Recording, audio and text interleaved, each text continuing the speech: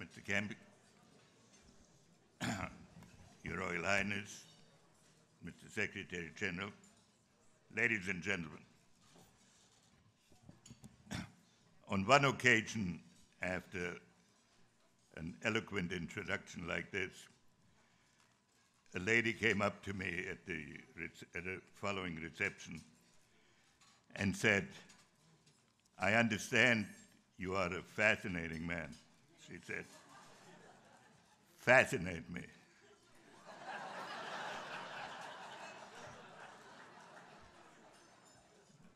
it was one of the less successful conversations that I have had. In 1951, before I was Henry Kissinger,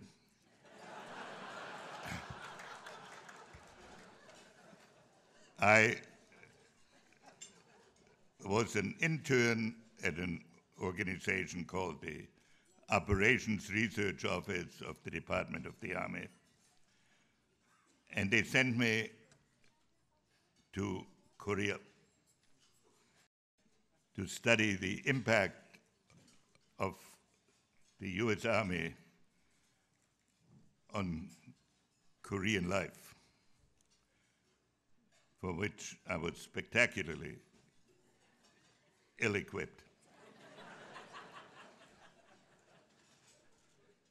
but it gave me an opportunity to travel around the country in the middle of the Korean War. The country was devastated. The largest building in Seoul was the headquarters of the Japanese governor that had still be, has since been torn down. No one would have believed it possible. That a day would come that a Secretary General of the United Nations would be a distinguished Korean leader. Or that Korea would look as it does today. It would have seemed totally improbable that a Korean diplomat would travel around the world, acting in some respect as a conscience of mankind. A Secretary General of the United Nations who is active in places as far flung as Syria, Sudan, Burma, seeking to mediate and allay suffering. That this was possible at all is a tribute to the faith and dedication of the Korean people who had the vision to overcome their suffering and their destruction and emerge as one of the leading countries of Asia and of the world. And it is equally true due to the qualities of Secretary General who has, as a diplomat and now in his current position, taken a position of wise and subtle leadership. His conduct is unassuming.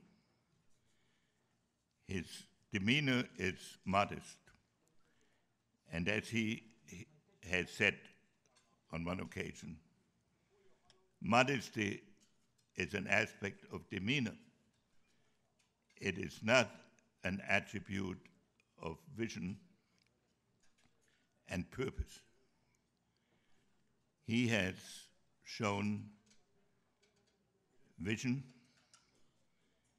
and purpose, and he has done it from the delicate position of having to earn the confidence of the many conflicting tendencies that exist in the world today.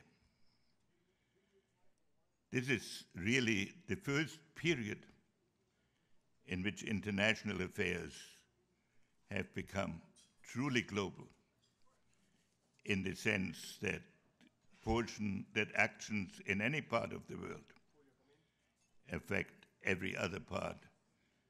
And that every part of the world is conscious of what the other parts do. And in his capacity as Secretary General,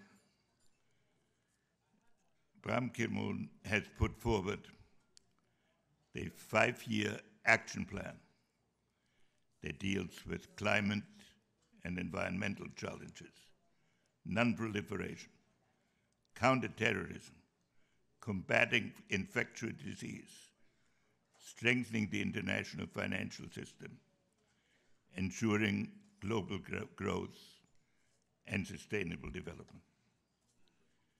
And so it is no accident that the first Asian leader to receive this award from the Atlantic Council should receive it not primarily for the efforts he conducted on behalf of his nation, but for the efforts he has conducted on behalf of humanity, of providing a forum where disputes can be aired, a mechanism where conciliation can be attempted, and a possibility in which serious efforts can be made to discuss the many technical problems in a world in which the traditional conflicts are no longer domin- dominant, but new visions are needed for those issues that can only be dealt with on a global basis. So I'm very grateful to the Atlantic Council for giving me this opportunity to pay tribute to a distinguished leader. And I'm obliged to point out to you that the Atlantic Council organizers, not fully confident that I would acquit myself adequately of this, have asked me not only to introduce the Secretary General, but to introduce a video of the Secretary General.